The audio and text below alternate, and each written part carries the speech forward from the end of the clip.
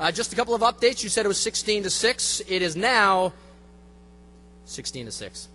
Uh, also got an update here that now WBZ is doing a 2:30 a.m. news, a 3 a.m. news, a 3:30 a.m. news, and a 3:30 a.m. news. You got out just in time. Um, really nice to be here tonight. So cool to be able to check the sports scores, get the sports scores from Mike. Mayor Menino was totally right when he said Boston sports are ionic.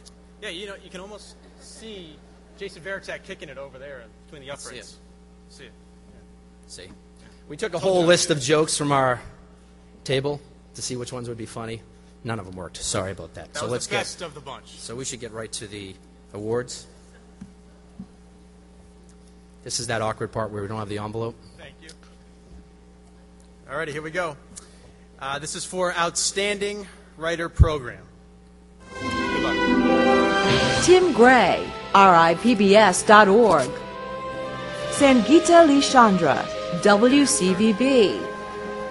Jason Hawkins, Connecticut Public Television. Clint Conley, WCVB. Jason Potts, WCVB. Kathy Bickermer, WCVB. Uh, and the winner is, for Outstanding Writer Program, Navy Heroes of Normandy, Tim Gray, Rhode Island Public Broadcasting.org.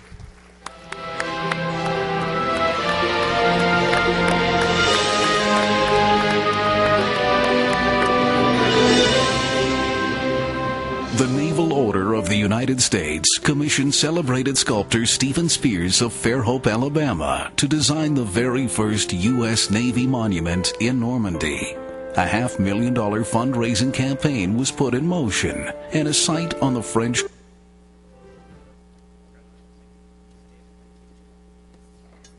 Thank you, thank you. Uh, just want to thank my wife Sheila, who uh, puts up with the trips to Normandy, France, and Guadalcanal, and Belgium and Luxembourg, all to pursue honoring World War II veterans who are dying at the rate of a thousand a day.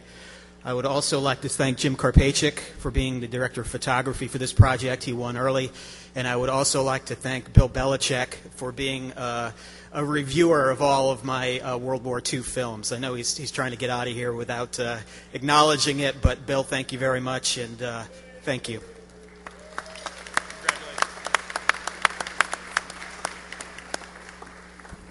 They just told us to speak closer to the microphone. We're hoping now that anything we said earlier was not heard by anyone. That's our hope.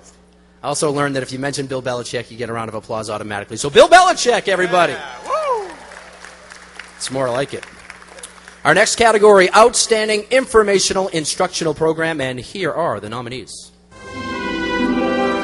New Hampshire Chronicle, Managing Your Woodlot, WMUR. Twisted Training, Matt Gilbert, RSN. Philanthropy, The Power of Giving, Connecticut Public Television. Chronicle, Teen Moms, WCVB. Internet Insecurity, WCVB.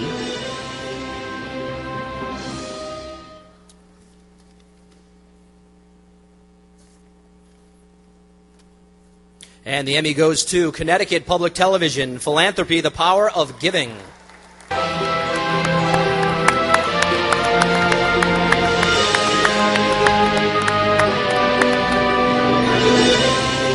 Throughout the entire 19th century, Hartford was both a strong literary and commercial and social center, one of the gem cities of New England.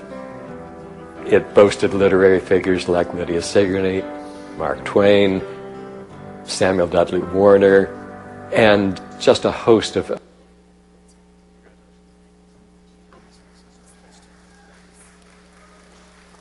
thank you so much. Um, I'd like to uh, thank Jennifer Boyd, executive producer, but especially my co writer, uh, production assistant, and researcher, Lizzie Warren, uh, a true rising star. And uh, thank you very much.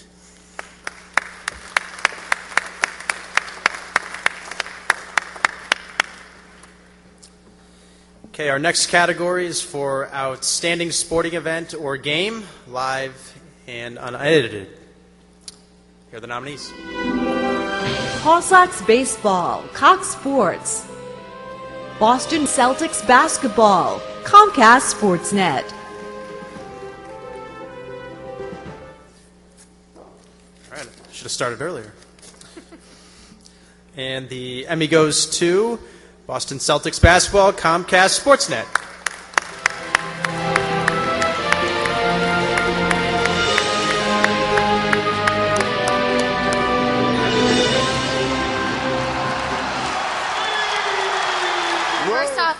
Scores 27-11.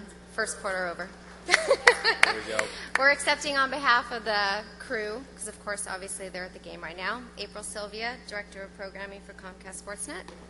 Hi, I'm Len Mead. I'm pretty new around here, but uh, Paul, Jim, Jeff, and Andy are all busily working at the garden, so we accepted on their behalf. Thank you. Thank you. There you go. Could have hold that. Congratulations. We have another sports score. Bruins still lost game seven. Sorry. That was low. Bad. Next category Outstanding Writers Short Form, and here are the nominees. Russ Nelligan, WCVB. James Bartone, WPRI. John Marshall, WPXT. Charles Armstrong, WSBK and WBZ.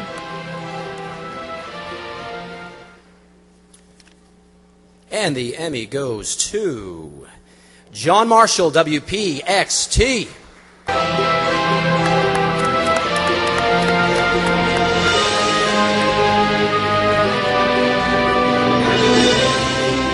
All right, Frank. So you're the Moxie man. Uh, maybe tell us what is it? What does Moxie do for you when you drink this? What, what is it? What does it fill you with? Very invigorating. It is. Very refreshing. To the untrained palate like myself, what can people? Uh, how would you walk them through this process? On the first taste, you may want to spit it out and throw it away. Don't. On the s- Uh, hi, I am not John Marshall. John Marshall uh, has taken a leave from our station, uh, and he is currently traveling around the world with his family for six months. And he's an excellent writer, as you could see in that piece. Um, but his blog, if you all want to check it out, it is uh, half a year away.blogspot.com. And this is for John. Thank you.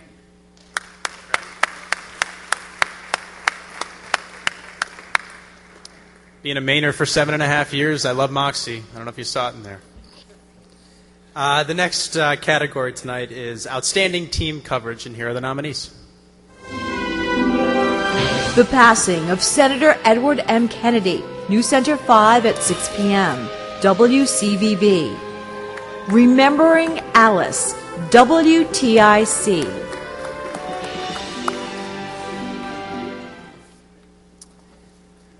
Uh, and the Emmy goes to Remembering Alice, WTIC.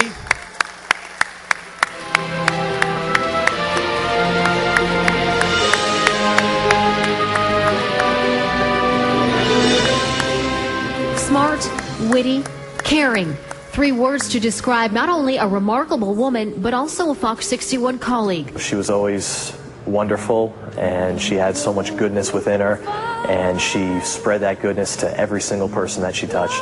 A loving mother who's being remembered tonight as a special person and a special.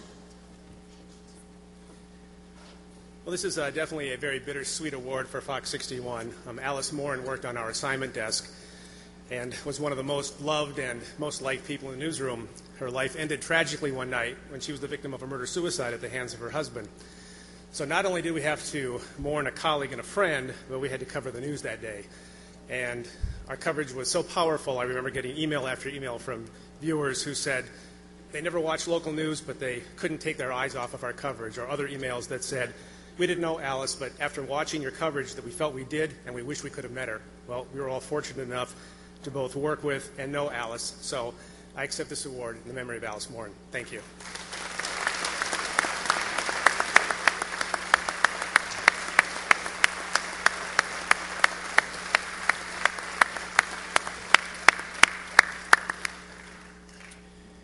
The next category is Outstanding Audio, and here are the nominees. Charles Reckard, Cox Sports. Jack Harrington, WFXT. Richard Talmadge and Mary Lou Palumbo, MashbyChamber.com, and Digital 500.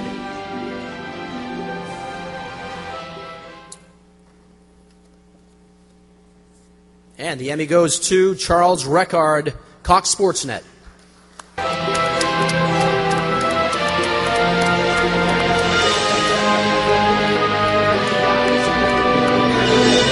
How would you like about three runs instead? Would that do the trick? I would do that. Uh, that and then the sandwich. I'm not Charles Reckard, but I take credit for his work tonight. Um, I want to just thank Charlie and uh, the whatever the committee and all that. And I'm going to go back and have some coffee. Thank you.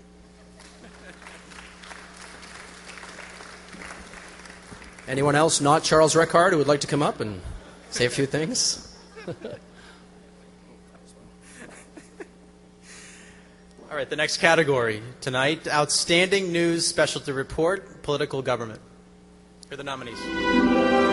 Janet Wu, WCVB. Remembering Senator Kennedy, WFXT. Team 5 Composite, WCVB. Government Watchdog Composite, WFXT. Judge Giles, WGBH. A Presidential Leap, WFXT. Okay, the Ebony, the, the Ebony, the Emmy, easy for me to say. Emmy goes to Government Watchdog Composite, WFXT.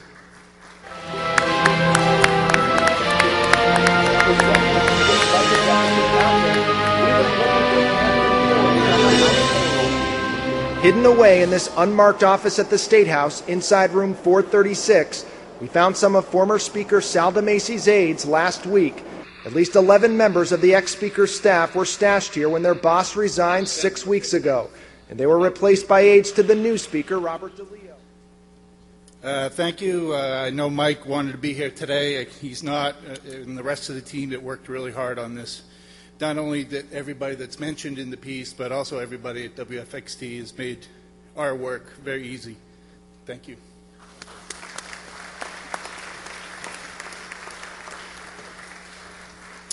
Next category Outstanding on Camera Talent Program, Host, Moderator, and the Emmys are. The Emmys, the nominees. Sean Tempesta, WNAC. Maria Hinojosa, WGBH. Stephen Donovan, New England Sports Network. Anthony Everett, WCVB. Kelly Lewis, RSN. Sonia Baghdady and Desiree Fontaine, WTNH. I'm a little worried about when they do the Worst Presenter Award. Um, the winner, the Emmy goes to Anthony Everett, WCVB.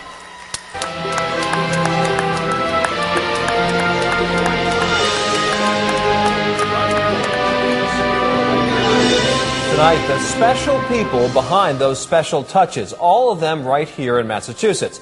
Their skills and artistry fill even the emptiest room with instant character. It was a great day, Mary. We're here at the Hotel Commonwealth in Kenmore Square. A beautiful view of Fenway Park behind us, and a great day over at the ballpark. You know, it's been a long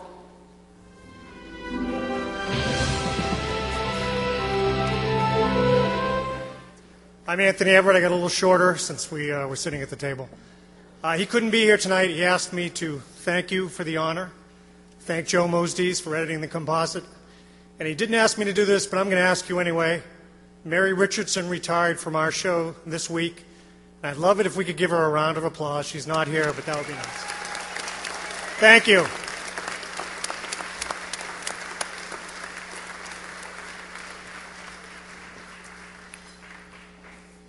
Next category Outstanding Historical or Cultural Feature or Segment. Here are the nominees. Trapped Under the Sea. Deer Island Tunnel Accident Survivors Recount Horror. Part 1 and 2 The Boston Globe. All Things Connecticut. Positively Connecticut segment Living Modern. Connecticut Public Television. The Soiling of Old Glory. WCVB. The Faces of War, myfoxboston.com. The Survivor, The Boston Globe. Joyful Reunion, The Boston Globe.